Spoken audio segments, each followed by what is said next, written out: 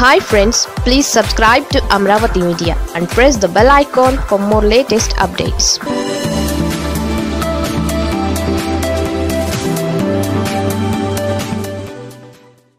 హఠాత్తుగా ఆ మీడియాకు పవన్పై ప్రేమ. మతలబు ఏంటబ్బా?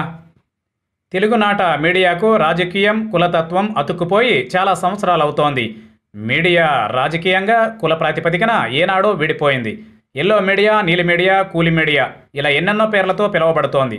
అయితే మారిన రాజకీయ పరిస్థితులకు అనుగుణంగా ఈ మీడియాలు తమ ప్రాధాన్యతను మార్చేస్తూ ఉంటాయి. ఇప్పుడు జనసేన అధ్యక్షుడు పవన్ కళ్యాణ్ విషయంలో కూడా తెలుగు మీడియా సంస్థలు స్ట్రాటజీని మార్చేస్తున్నాయి. పతాక శీర్షికలో కథనాలు ఇస్తున్నాయి. అయితే ఈ అనూహ్య మార్పు మాత్రం చర్చనీయాంశంగా మారుతోంది. పవన్ విశాఖ పర్యటన వివరాల కోసం ఈనాడు ఒక ఫుల్ పేజీ కేటాయించడం ఇప్పుడు హాట్ టాపిక్గా మారింది.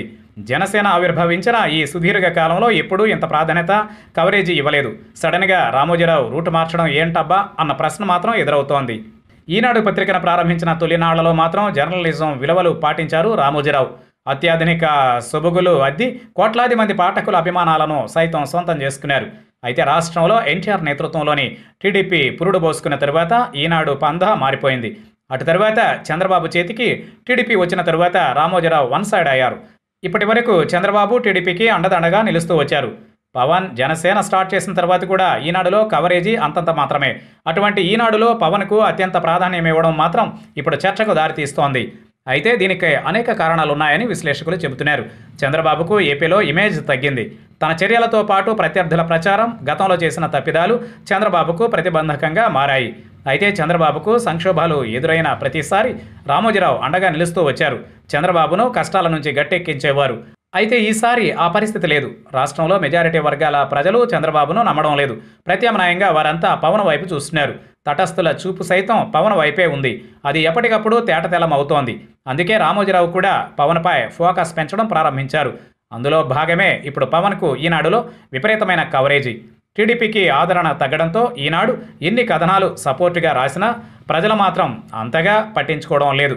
అందుకే రామోజీరావు ఆలోచనలో కూడా మార్పు వచ్చిందని విశ్లేషకులు భావిస్తున్నారు.